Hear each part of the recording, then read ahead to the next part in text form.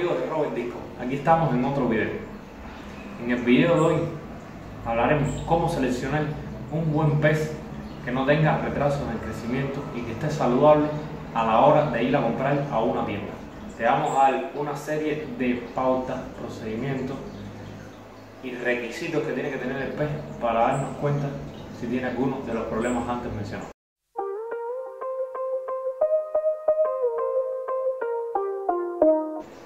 Lo primero que tenemos que tener en cuenta a la hora de seleccionar un buen pez es saber su procedencia. O sea, si vamos a comprarlo en una tienda, eh, tener conocimiento del, dueño de esa tienda, de dónde es las importaciones o de dónde adquiere sus peces.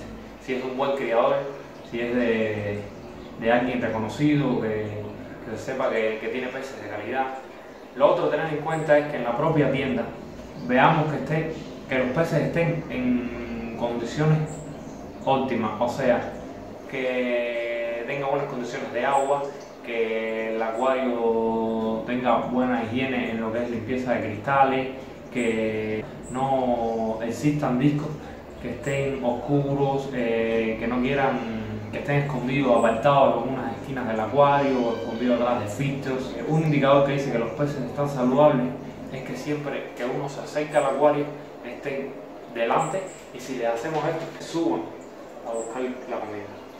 Este es un buen indicador de una salud adecuada. Todos estos consejos que vamos a dar aquí de cómo obtener un buen pez no solo lo puede ayudar a los hobbyistas a llegar a su casa y no tener una bomba de tiempo de un pez que enferme a los días o tal vez al mes, sino que también va a ayudar a que mejore la calidad en las propias tiendas, ya que si no compramos peces en malas condiciones, los vendedores cada día tendrán que buscar mayor calidad.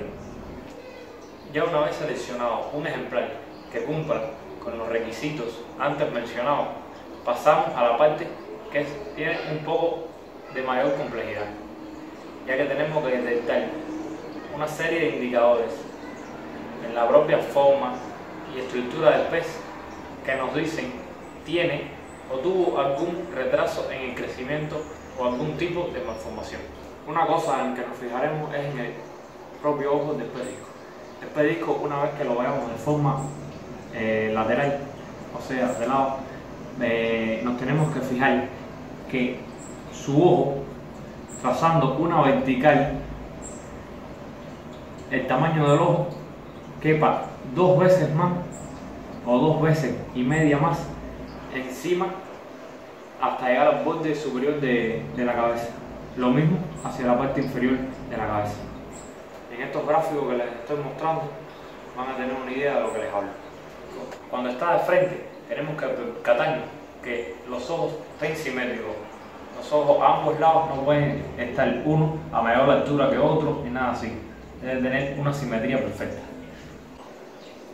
Otro aspecto para seleccionar un pedisco de calidad es que el cuerpo debe tener una forma lo más redonda posible. No puede ser alargado hacia atrás ni muy alargado hacia arriba. Otro detalle es la aleta caudal. La aleta caudal debe formar, eh, más bien tiene la forma, una forma triangular, casi perfecta. No puede pasar que la aleta caudal esté caída hacia un lado o que tenga malformaciones.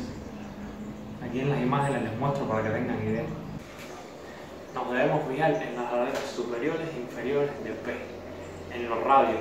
Los radios son como las espinitas que vemos antes de la aleta superior y las espinitas que vemos abajo antes de esa aleta. Eh, nos tenemos que fijar que en la aleta superior debe haber 8 radios antes de la continuidad de la aleta como tal. O sea, el, primero que es bien pequeñito, vienen todos los radios y antes de llegar a la continuidad de la aleta debe tener 8 radios. Y el inferior un radio, casi siempre tiene un radio menos 7 radio antes de la continuidad de la aleta. Lo otro es que ambas aletas deben ser continuas y sin deformaciones. La frente, viendo al pez eh, lateralmente, la frente del pez, la parte delante del pez, no debe ser muy abultada en la zona de la frente tampoco tener más formaciones como una pupa y llegando a la boca, que es la llamada boca del oro o pico del oro. Partiendo de la boca debe ser algo muy continuo, no, no, no debe tener eh, grandes deformaciones. Debemos observar muy bien y detenidamente siempre que vayamos a seleccionar un ejemplar. No, no puede ser que lleguemos a la tienda y estemos locos por el colorido que tenga un pez y, y enseguida porque, porque tiene un color exótico queramos ya coger ese. No. Esto lleva tiempo y mucha observación. Otro detalle a tener en cuenta son las agallas. Debemos fijarnos que el animal al respirar no abra demasiado y se vean irritadas o, o un tipo de una, una, especie de filamentos por fuera de estas porque todo esto puede ser algún indicio de que el pez tuvo o tiene algún parásito de agallas y le cuesta o pasa trabajo para respirar debemos fijarnos en la zona de la frente, la cabeza, eh, alrededor de los ojos que el animal no tenga eh, una especie de hoyos o orificios que generalmente son provocados por la examitosis. Observamos que los desechos que se encuentran en la pecera donde están ubicados todos los discos, no, no veamos ningún desecho o caca eh, color blanco, gelatinoso, ya que estos son indicios, como digo anteriormente, producto del parásito la examita.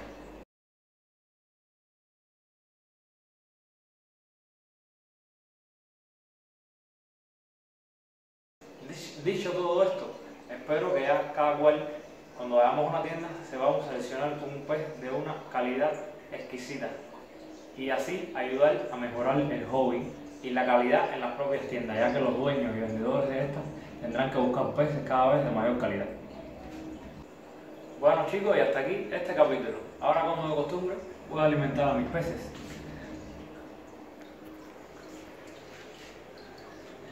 Estos sí siempre tienen hambre.